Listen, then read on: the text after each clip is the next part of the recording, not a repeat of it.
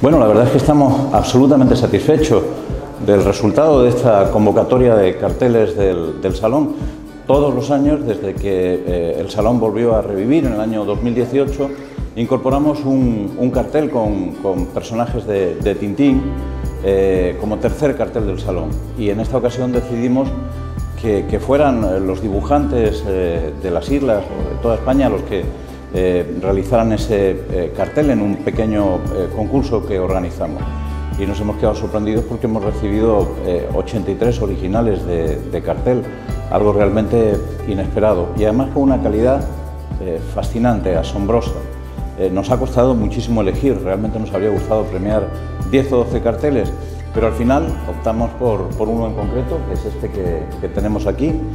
y lo que, lo que deseamos es que eh, sea un cartel que tenga eh, mucho recorrido.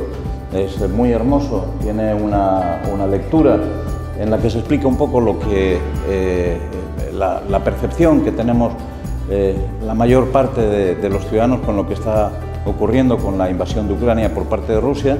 y al mismo tiempo es un cartel de Tintín que nos recuerda la portada de Tintín en el país de los soviets, una eh, de las aventuras eh, malditas de Tintín porque nunca eh, ha sido reeditada de forma, de forma masiva.